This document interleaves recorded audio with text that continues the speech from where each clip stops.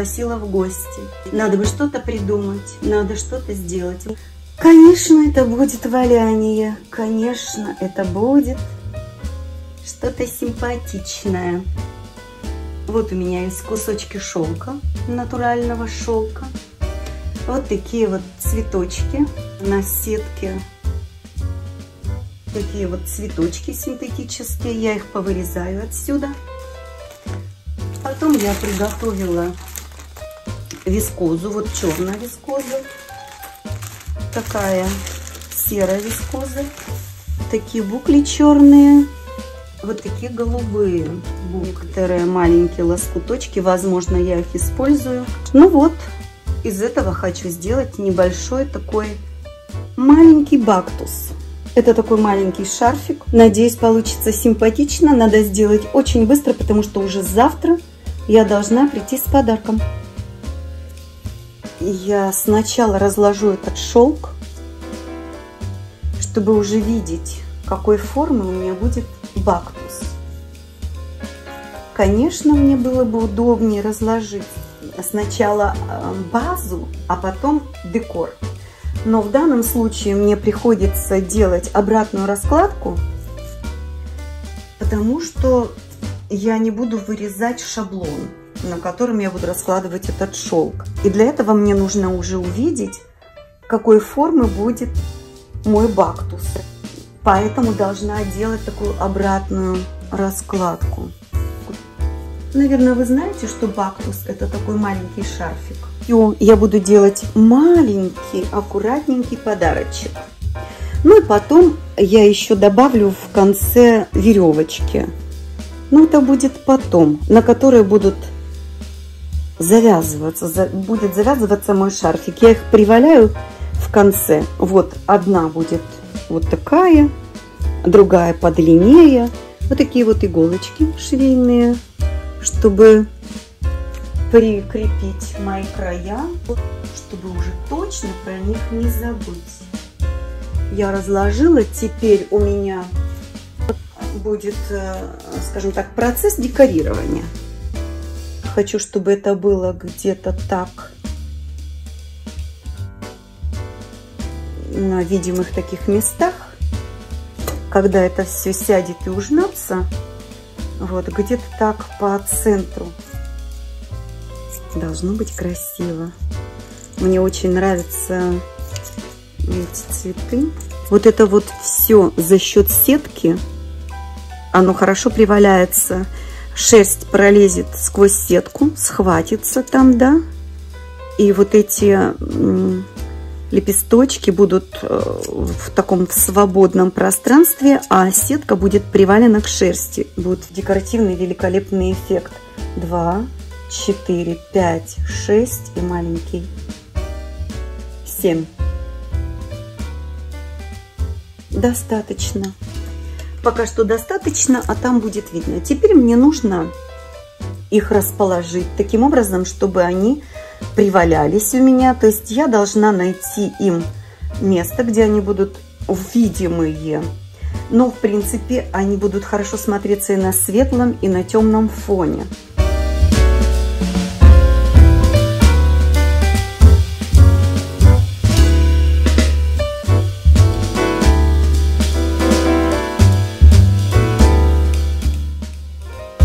Должно быть красиво. Вот, теперь мне нужно вот эти цветочки сделать таким образом, чтобы они попали у меня между тканью, чтобы их легко было привалять. То есть они должны у меня оказаться между тканью, причем вниз головой, потому что лицевая часть будет там. У меня же обратная раскладка, вы же помните, да? Вот, я это сейчас им обеспечиваю.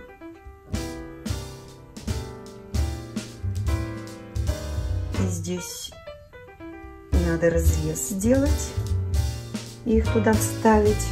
И здесь тоже нужно сделать разрез, вставить. И, возможно, я воспользуюсь вот этим вот разрезом. Прямо вот сюда вставлю. Вот так вот. Пусть будет так. Ну а здесь придется вырезать.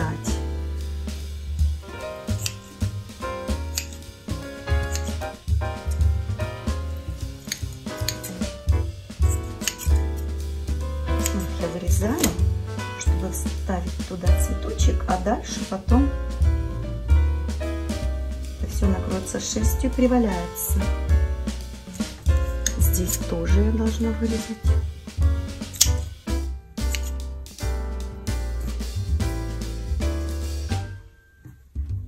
Вот, уже красиво, даже если просто вот так оставить. Но я хочу еще немножечко сделать немножко еще декоративнее, поэтому я туда вставлю еще немножечко вот таких буклей.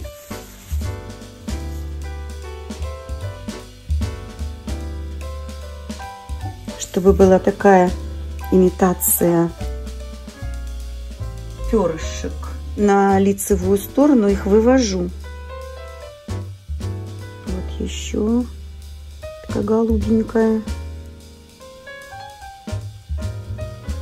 Вот так. Вот еще малышка какая-то. Может быть где-то здесь. Вот здесь такая интересная, пусть будет кромочка.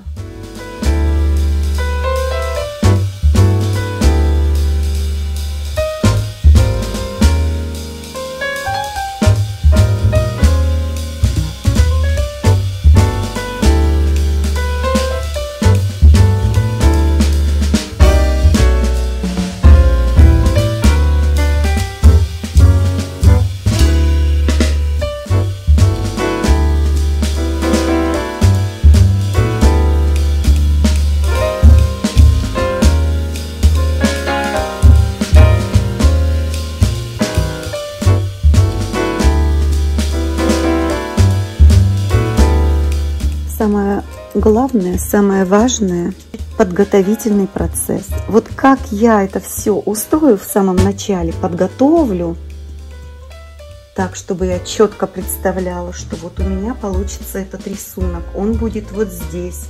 Видеть эти пропорции, понимать, что это сядет, сожмется, что вот тут вот у меня горлышко, а вот здесь вот декоративная часть, где она будет примерно заканчиваться – представлять это в пространстве. Если вы еще не знаете, как это все выходит в результате, то лучше делать тесты.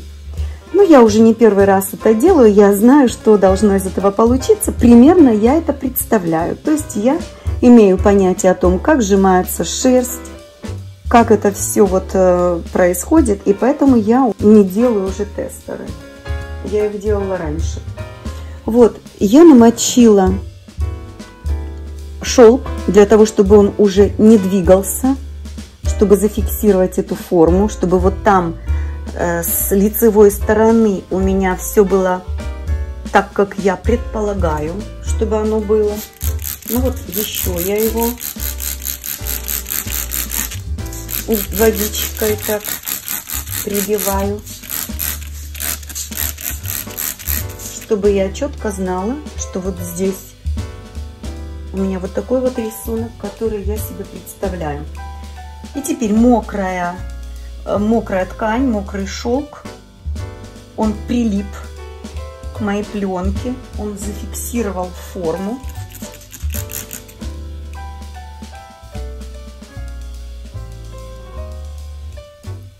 И я теперь могу на него класть шерсть, и я знаю, что там не будет между этим шелком где-то дырочек. То есть я контролирую процесс. Вот я раскладываю так, чтобы этих дырочек не было.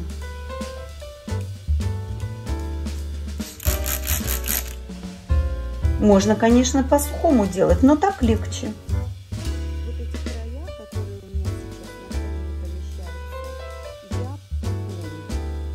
Разложу на них шерсть, я их побрызгаю потом. Сейчас я их оставляю поработаю над вот этой частью, и потом я это прикрою, передвину и поработаю над этими краюшками. Вот так вот. Плюша, тише, тише, Плюша, я должна что-то сказать. Сейчас я приступаю к раскладке шерсти. Это будет у меня обратная сторона. Я хочу ее сделать э, коричневой, вот такой вот коричневой шерстью это цвет кофе. она будет темненькая, и потом я прикрою это все вискозой. И у меня тоже эта часть будет декоративная, но уже не покрытая шелком. Будет вискоза э, двух оттенков. Ну вот, приступаю. Первое, что я сделала, это я взяла и распрямила шерсть. Потом я ее разделю на две части и работаю с вот этой пасмой. Раскладываю облачками.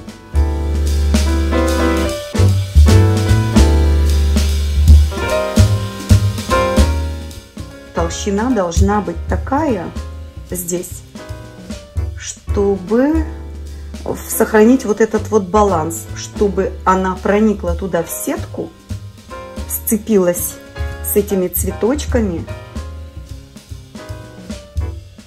но и не перегрузила мне изделие. Вот нужно как-то так продумать, чтобы именно попасть вот в эту золотую середину.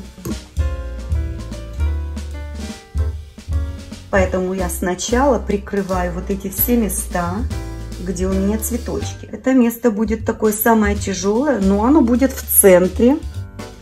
И поэтому это будет нормально, если оно будет чуть толще, чем вот эта вот периферийная часть. Растягиваю паутинкой и стараюсь равномерно разложить по всему пространству.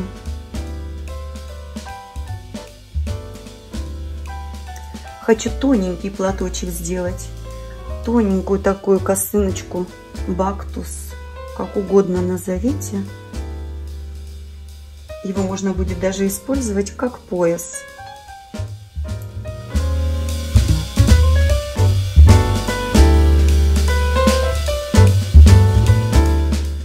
Вот здесь я проложила кромочку, а здесь я хочу проложить такую полосочку из шерсти. Вот, например, я беру такую длинную пасмочку делаю маленькие такие полосочки и прокладываю их. Это для того, чтобы здесь не растягивался край, кромочка, чтобы образовалась.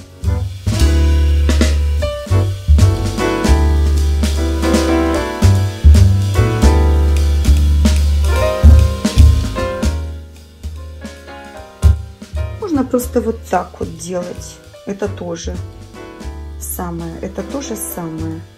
Ну, можно на полосочке, как хотите. Главное, чтобы здесь была такая по длине разложенная шерсть, которая будет делать кромочку. Она будет выполнять и декоративную функцию. Видите, она создает здесь тень. Это очень красиво смотрится, когда край очерчен когда виден контур. Я люблю так делать.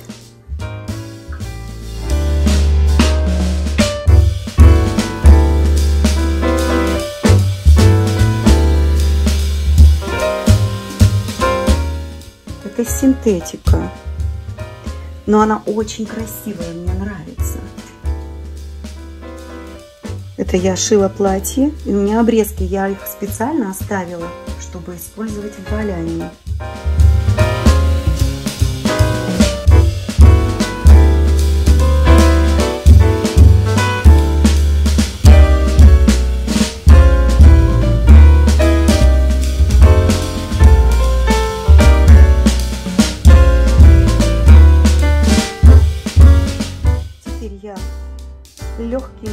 Пасмочками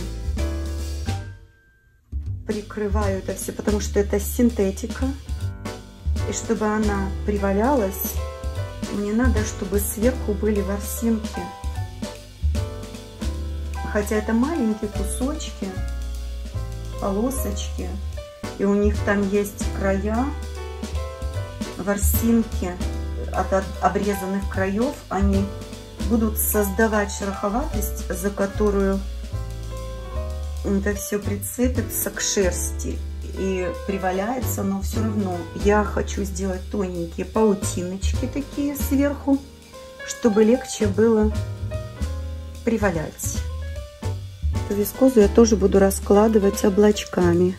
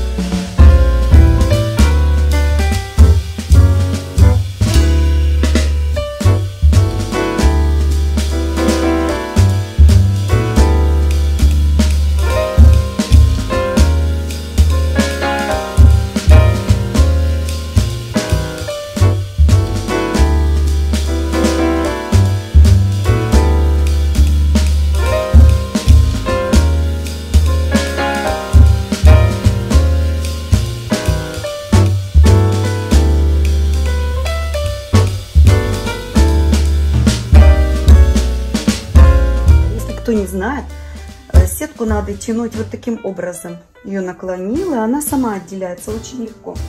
Слежу вот, чтобы вот здесь края она не повредила. И легко ее сняла. Вот она сама легко снимается. Сама техника валяния, она настолько необычная. И настолько, видите, вот все просто, все так, ну, ну сказочные дела происходят. Сцепляются волокна между собой, образуя какую-то новую материю. Вот видите, уже это превратилось в какой-то такой материал. Видите, его уже можно вот так вот взять, отделить. Сейчас я это накрою пленкой и проработаю края. Я вот так пододвигаю, и здесь это тоже приваляю.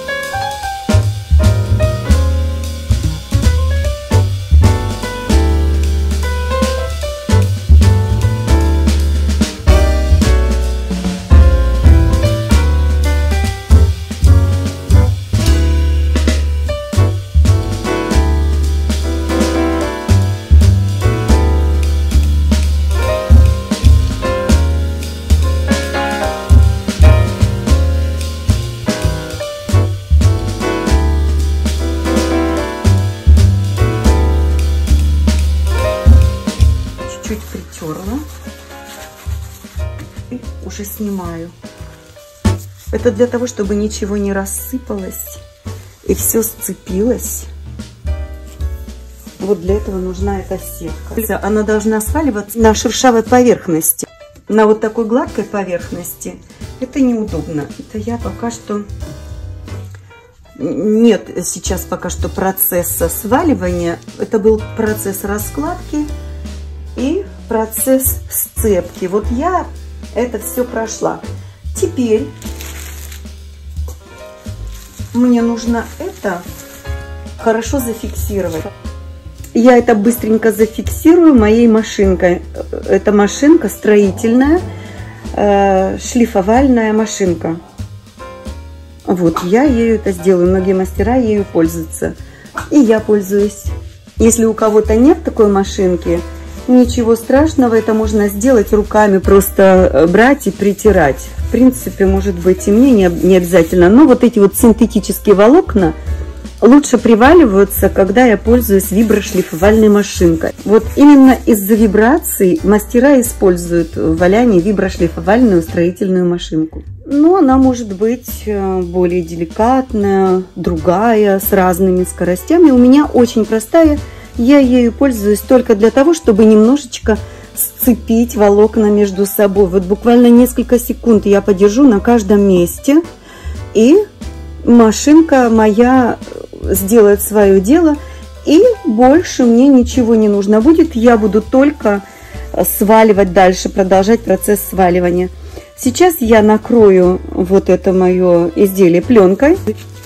Вот это именно воздушно-пузырьковая пленка. Смотрите, мои пузырьки, они уже полопались. И это создает трение между моим изделием и пузырьками. И поэтому лучше сваливается изделие. Я накрываю, проверяю, чтобы все это было ровненько. И теперь включаю машинку.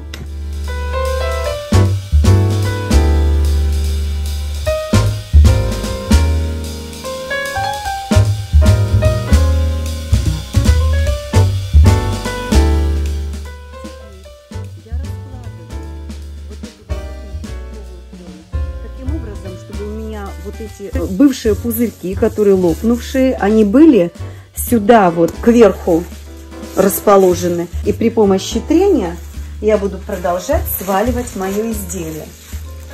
Вот такой маленький кусочек, мне достаточно, у меня изделие небольшое. Я прямо его беру, снимаю с этой пленки, вот, кладу, да, и потом снимаю. Оно у меня отклеивается и я уже вижу его лицевую часть. Мне нужно отклеить таким образом, чтобы вот здесь ничего не повредилось. Вот эти края мне надо на стол положить, чтобы оно там не капало, потому что с него водичка стекает и капает. И сейчас я посмотрю, что мне получается с лицевой стороны. Вот я проконтролирую. Здесь я вижу у меня эти букли. Я должна увидеть, что с ними происходит, поправить все, чтобы было так, как мне нравится, как задумано. Вот здесь кантик, контур, а здесь эти вот бахромушечки. Я эти бахромушечки поправляю.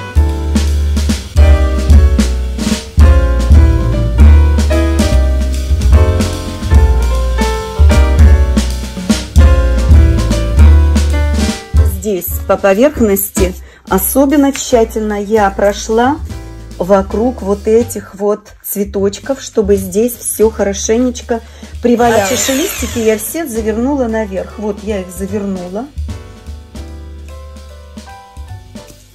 И прошлась вокруг.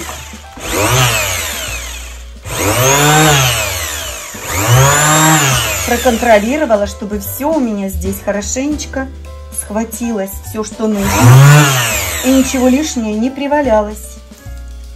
Я теперь отворачиваю эти все листочки, и мне надо пройтись еще вот так вот посерединке, чтобы они очень хорошо, эти цветочки, привалялись, чтобы шерстинки вылезли через вот эту сетку.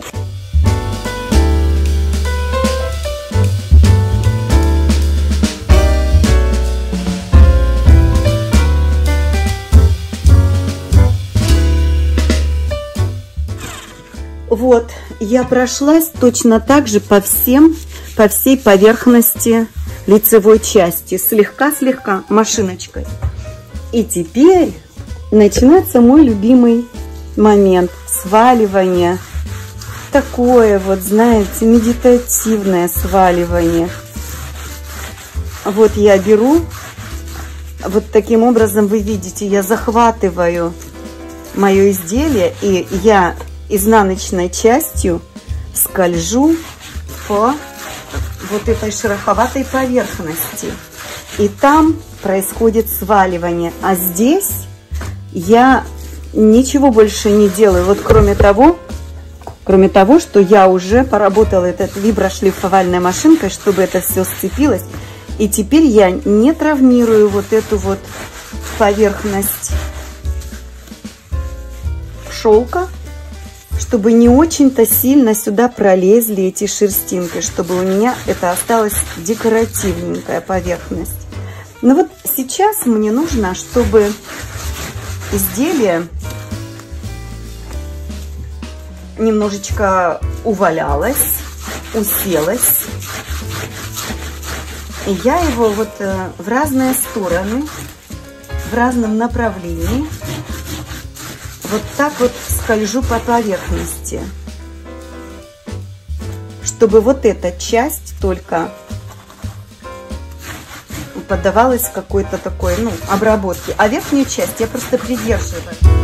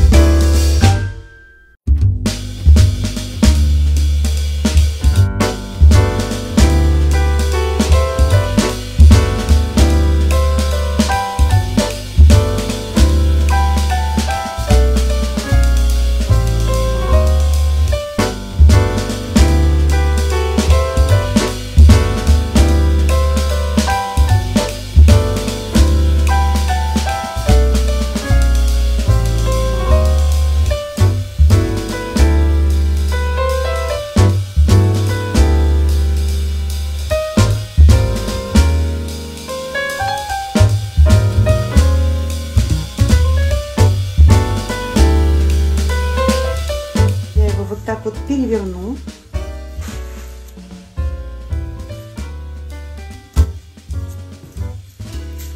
И проконтролирую здесь.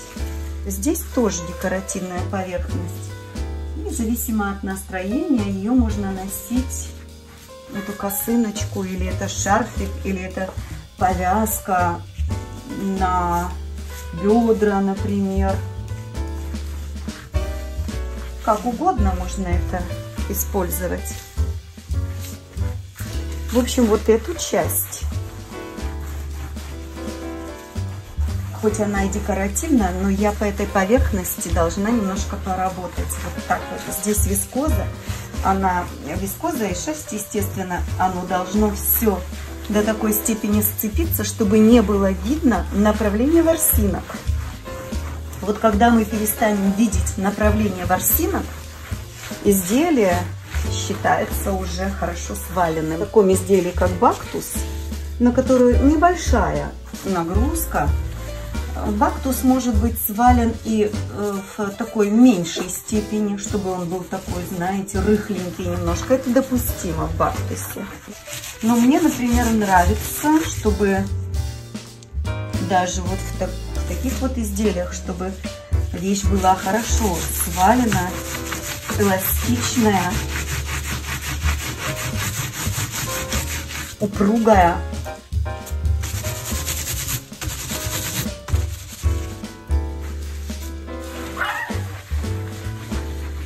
Круговые движения, можно так сказать.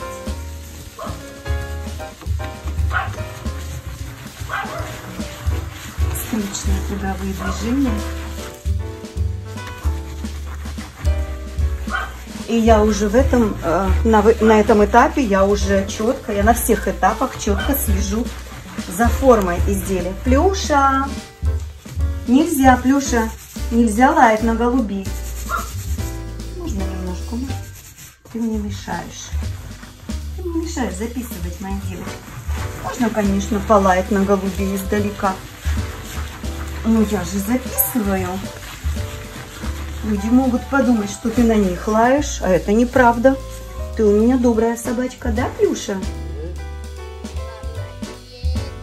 Молодец! Анка, Анка, Анка, la maladie. Maladie. Où elle est la pièce Maladie Encore, encore, encore, continue. Tiens. Maladie. Est la maladie Maladie. Donne la pièce. Donne la pièce, la pièce la plus belle. Maladie Encore, continue, continue. Вот, смотрите. Сразу видно, когда изделие начинает свариваться. Оно садится. Оно становится более упругим. Вот эти краюшки растягиваются. Вот эти вогнутости, наоборот, втягиваются. И получается такая вот декоративность изделия. Рваные края, мне очень нравятся рваные, такие не, неравномерные края с такими маленькими завитушками на концах. Вначале, когда начинаешь вот такие вот движения, легкие очень, э, такие не очень прижимающие движения, а потом все больше и больше можно нажимать. Вот эта пена, которая внутри образуется, она помогает сваливаться, потому что там ну, при помощи все же воздуха, воды, мыла, ну вот так вот происходит такое волшебство. Как это приятно делать! Ой, как это приятно делать! Когда я сейчас переверну, я обнаружу, что моя, мой шелк немножечко стал сжиматься. Вот. И э, теперь я вот такими вот движениями его еще больше сжимаю. Заметьте вот эту лицевую часть, которую я определила как лицевую, где шелк. Я по ней стараюсь не скользить, потому что я не хочу, чтобы на ней от скольжения появились ворсинки. Мне хочется, чтобы этот шелк просто сжался между собой, а ворсинки оказались между вот этими сжатыми, ну, такими пружинками, чтобы ворсинок, ну, не очень-то было заметно, чтобы ворсинки не были очень заметными, тогда изделие выглядит более декоративно. Вот. Эти движения помогают сваливанию и превращают шелк вот в такой сжатый. Он сжимается. Видите, такие маленькие пружинки. Это потому, что шерсть садится при сваливании при помощи воды и мыла, а шелк не садится, но он уже сцепился с шерстью, ему некуда деваться, он тянется за шерстью и превращается вот в такие декоративные пружинки, которые мне очень нравятся. Ну вот, уже почти-почти. Дело в том, что этот бактус должен быть легким и воздушным. И поэтому он просто уже почти сваленный. Я его еще сейчас прополощу. Но перед этим я вот проконтролирую мои чеши листики. Вот они. Чтобы они у меня не привалялись к шелку. Там, где привалялось, я их сразу же отцепляю. Чтобы они были выполняли свою функцию, задуманную дизайнером, то есть мною. Вот так вот. Никакого тут своеволия я не потерплю. Все, все это я проконтролировала. И черненькие, и синенькие же у меня есть, да? Надо еще черненькие проверить, все ли ведут себя правильно. Не все, я вам скажу. Но ничего от меня не скроешь. Я их поставила на место. Они продолжают выполнять свою задачу. А я вот это изделие сейчас прополощу в горячей воде. Я выполощу этот, э, это мыло старенькое, да, уже которое, ну, тут уже поработало немножко.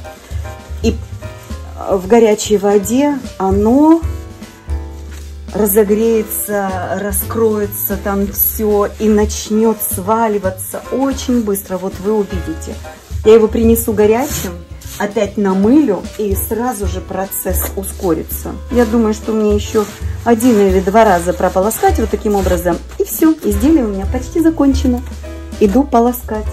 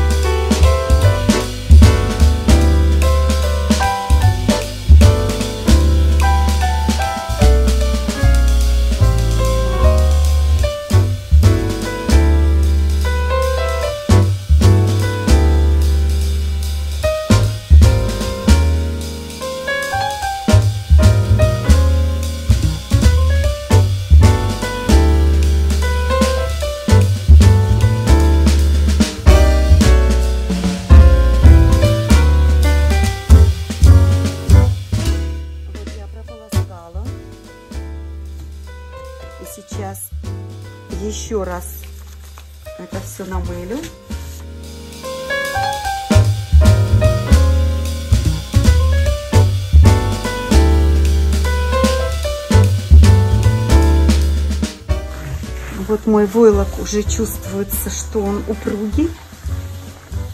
На ощупь он такой эластичный.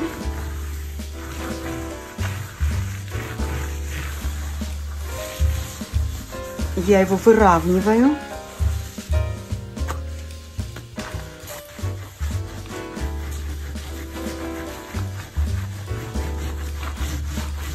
Все, мой войлок уже очень эластичный, пластичный.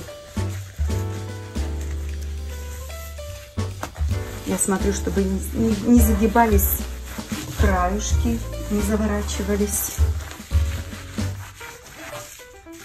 Вот. Я могу его вытянуть так, как я хочу, в таком направлении. Он подтягивается в разные стороны. Вот я захочу, например, чуть вытянуть его, да, я зафиксирую эту форму. Вот я вижу, вот это вот будет перед у него такой, да, это все вот горловинка, и тут будет так вот декоративненько. Когда завернется вокруг шеи, вот это уже будет сзади. Тоже будет очень декоративненько. Поэтому я его тоже оставлю вот таким вот краюшком.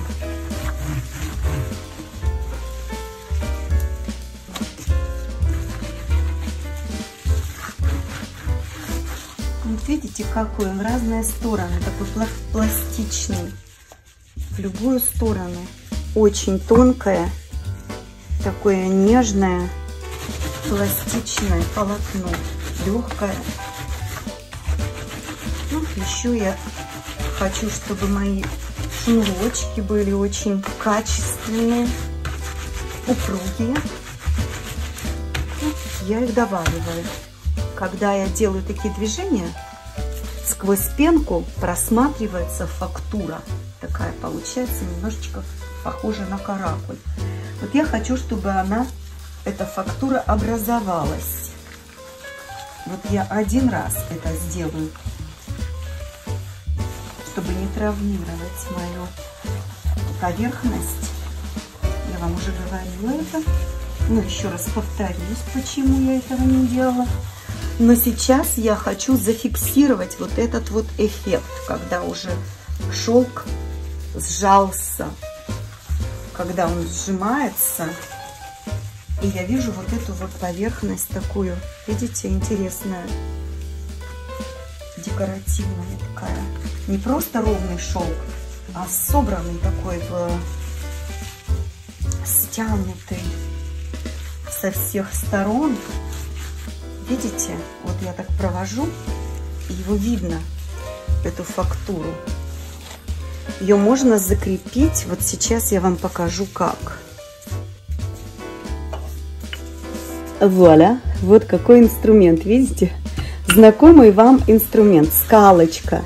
Вот такими легкими, непринужденными движениями я немножечко как бы фиксирую вот эту форму, не прижимая. Просто фиксирую.